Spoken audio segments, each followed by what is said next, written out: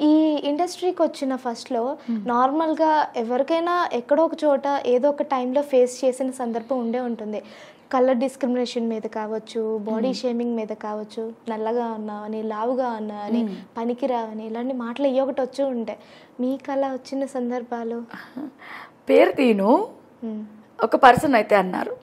అంటే అప్పుడు నాకు భయం వెళ్ళడానికి స్టార్టింగ్ స్టార్టింగ్ ఆడిషన్స్కి అయి రమ్మంటే నేను వెళ్ళేదాన్ని కాదు. నాకు భయం. అంటే కొంచెం ఉండేది నాకు. మనం వెళ్ళకూడదు. వెళ్తే లేడీస్ తెలుసు కదా ఏమన్నా మళ్ళీ ఇదవుద్దేమో. తెలిసిన వాళ్ళు మామయ్య వాళ్ళు తీసుకెళ్తే వెళ్ళొచ్చు ఆ టైంలో. ఆ టైంలో రమ్మని పిలిస్తే వెళ్ళకపోతే ఇంట్లో ఏదో నేను మేకప్ వేసుకోవడం నేర్చుకుంటున్నాను ఇంట్లో కూర్చొని ముందు. అప్పుడప్పుడు. అప్పుడు వేసుకుంటుంటూ వచ్చారు అప్పుడు. ఆడపిస్కి రమ్మంటే రావు కానీ ఇంట్లో కూర్చొని మేకప్ వేసుకుంటావా? ఇంక ఇంట్లో కూర్చొని మేకప్ వేసుకుని బతకవద్దు నీది. నువ్వు ఇంక రాలేవు దర్బాకి అని. తను ఆర్టిస్టే పేరు చెప్పను. చూస్తే అర్థమవుతుంది. ఇప్పుడు కూడా చూస్తున్నారు. చేస్తున్నారు వాళ్ళు. ఆ కసితో కూడా నేను చేశాను. ఓకే. నీ బతికింది ఇంకా. ఇంట్లో మేకప్ వేసుకోవడమే. మా ఆఫీసులో తిరగవు రావు. ఇంక నీకు రావు అని ఎక్కిరించిన వాళ్ళు ఇప్పటికి చూస్తున్నారు. నాతో మాట్లాడడానికి చేస్తున్నారు. నేను మాట్లాడలేనండి ఒక్కసారి పెట్టుకున్నానంటే నా వల్ల కాదు. సో మాట్లాడలేదు. అన్నాక కసి పెరిగింది ఇంకా నాకు. ఎందుకు చేయకూడదు? ఎందుకు రాకూడదు? అక్కడ నా తప్పలేదు నేను వెళ్ళకూడదు అనుకున్నాను. కొంచెం అప్పట్లో నా సినిమా ఆఫీస్ అంటే కొంచెం భయం వేసేది. సీరియల్ అంటే ఒక ఫ్యామిలీలా ఉంటుంది కదా సీరియల్ వరకే అనుకున్నాను. సో అలా అనేటప్పటికి నేను ఒక రాంగ్ స్టెప్ ఏంటంటే ఒక మూవీకి వెళ్ళాను. వెళ్ళినప్పుడు వాళ్ళని ఇలా అడుగుతారు కదా విత్ కమిట్మెంట్ కమిట్మెంట్ అవి అడుగుతారు కదా. అది నాకు నచ్చక ఇసిరి కొట్టి వచ్చాను ఓకే. స్టార్టింగ్ దాంతో వీళ్ళంతా ఎలాగని రప్పించాలి మళ్ళీ ఇది అనే ఇదిలో పిలుస్తూ ఉండేవారు. ఒక నెలంతా టార్చర్ పడ్డాను. వాళ్ళే ఆ నోటుతో వాళ్ళే అన్నారు. నేను ఎవరినైతే నమ్ముతానో వాళ్ళని పంపించి తీసుకురావడానికి ప్లాన్ చేసి ఇచ్చేశారు. నాకు అర్థమైపోయింది నా సిక్స్ మరీ ఇది కాదు కదా చిన్నపిల్లనే. కానీ మైండ్ పనిచేస్తుంది కదా అప్పుడు టైంలో. అర్థమై వెళ్ళలేదు. వాళ్ళకి మళ్ళీ నేను సీరియల్స్లో బిజీ అయి చూపించాను. ఇప్పుడు మేడం మేడం అని మాట్లాడతారు. ఓకే. ఇవి ఉన్నాయి నరకాలు అవి ఉన్నాయి. అడగడాలు చేయడాలు. చాలా మంది ఉండవు చెయ్యవు మాకు ఎలాంటి ప్రాబ్లం లేదు అంటూ ఉంటారు కదా. ఒక్కటండి అడగకుండా మాత్రం ఉండరు. నేనైతే ఇవన్నీ నేను దాచుకోవాల్సింది ఏం లేదు.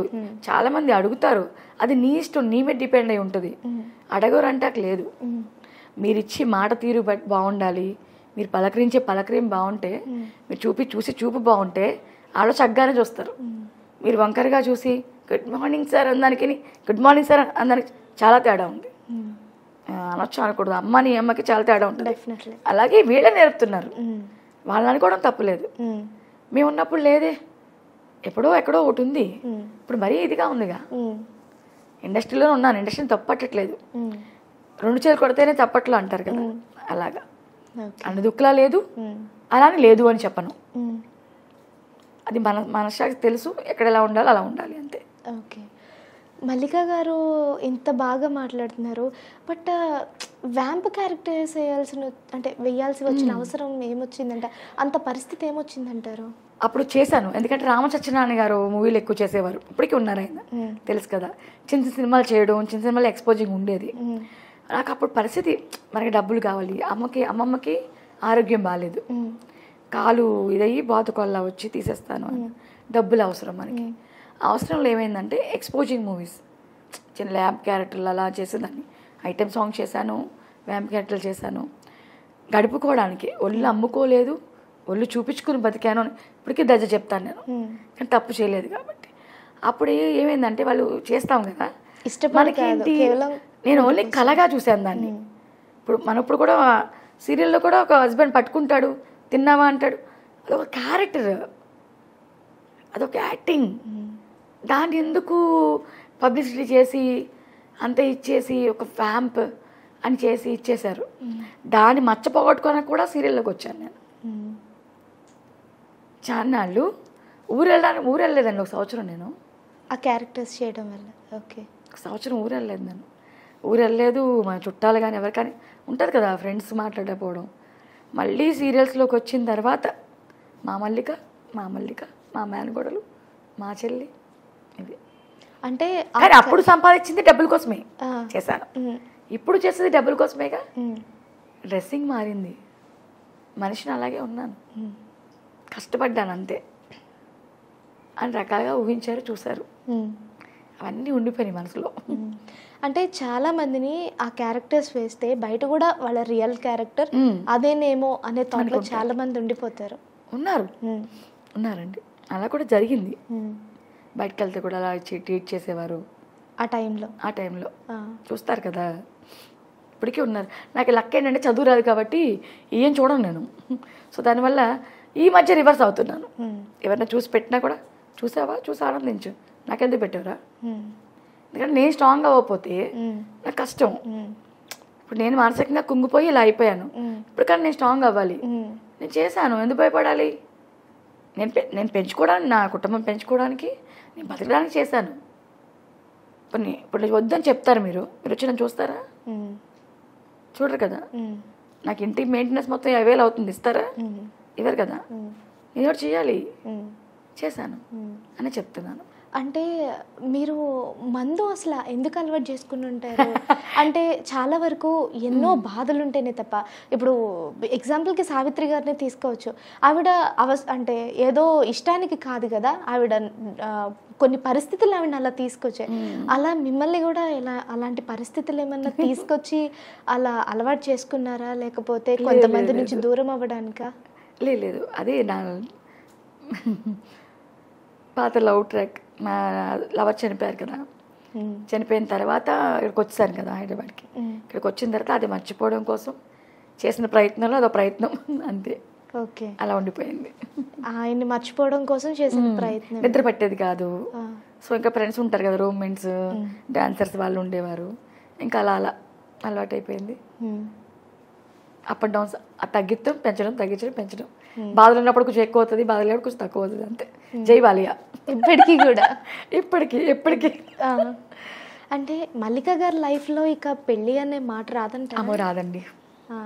ఎవరికైనా ఒక తోడు అనేది ఇంపార్టెంట్ కదా. రేపొద్దున్న మీరు అంటే ఇప్పుడు మీ అమ్మగారు లేరు అంటున్నారు. మీ నాన్నగారు కూడా అనకూడదు. ఎ- మీతో కలకాలం ఉండలేరు. కానీ మీకంటే ఒక తోడు ఉండాలి కదా. ఎందుకో అది పెళ్ళితోడే అవ్వాలా? ఆ, హస్బెండే అవ్వాలా అది చెప్పండి. ఒక అంటే ఫ్రెండ్స్ కూడా ఎక్కువ కాలం ఉండరు కదా ఏదో ఒక టైంలో. ఎవరో ఒకరు అడాప్ట్ చేసుకుంటే నేను చనిపోయేదాకా ఉంటాడు కదా చనిపోయాక తన లైఫ్ చూసుకుంటాడు కదా.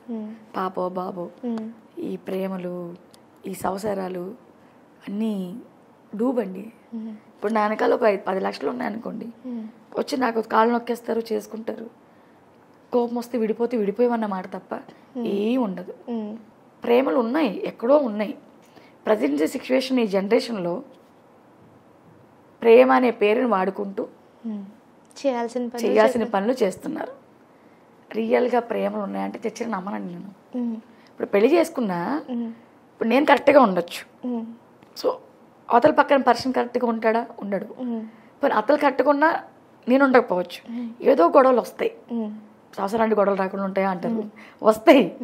తీసుకోలేం కదా. ఇప్పుడు ఇన్నిన్ని పడి పడి మళ్ళీ పెళ్ళి చేసుకుని అయ్యి ఎక్కడ పడతామండి సోలో లైఫే సో బెటర్ అన్నట్టుంది. నేనే రాజు నేనే మంత్రి కదా. చాలండి మీ జీవితానికి మీరు ఒక్కరే సింగిల్. మీ నాన్నగారు ఎప్పుడు ఫోర్స్ చేయరా పెళ్ళి నేను మొగరాయుడు అబ్బాయిలా చూస్తారు రండి అడిగితే ఇంట్లో పారిపోతాను కదా. ఓకే. రాను ఇంటికి. అందుకని అడగరు. ఓకే. సో మీకు అసలు పెళ్ళి మీద ఇంట్రెస్ట్ లేదు చేసుకోవాలని కూడా అనుకోవట్లేదు. అసలు అబ్బాయిలు ఇష్టం ఉంటారు నాకు. ఓకే. అంటే అంద- అందుకే అందరినీ తమ్ముడు నాన్న అదే పిలుస్తాను నేను. షూటింగ్ అందరు కూడా కెమెరామ్యాన్ ప్రొడక్షన్ వరకు కూడా నాన్న తమ్ముడు అంతే. అంతే మరి మా మంచి క్లోజ్ ఫ్రెండ్స్ అనుకో డార్లింగ్ ఎక్కువ డార్లింగ్ డార్లింగ్ అని పిలుస్తాను. అంతే.